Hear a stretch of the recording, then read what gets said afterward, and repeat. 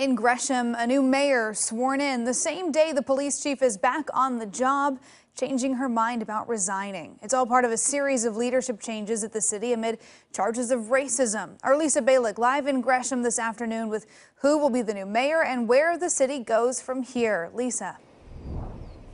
Well, we learned today there is a new mayor out here in Gresham. There is also an outside investigation about to get underway into allegations of racism inside City Hall as well as at the police department.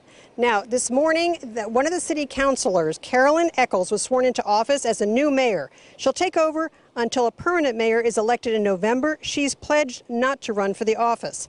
Echols takes over for Shane Bemis, who resigned recently after 14 years, saying he needed to focus on his family-owned restaurant struggling during the pandemic.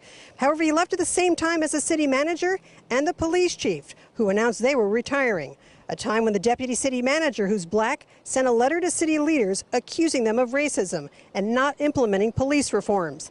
The new mayor says there's definitely a tough road ahead.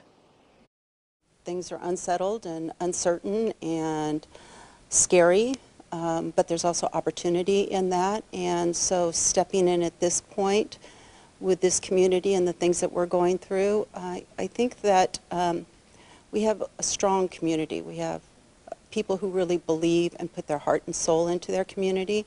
And as my role uh, as mayor, I, my first priority will be to listen.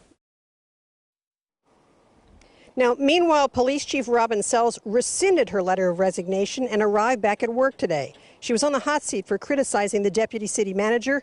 We asked to speak with her, but was told she would not comment today. But the city attorney says an investigation into accusations of the city as, quote, a hostile work environment is about to get underway.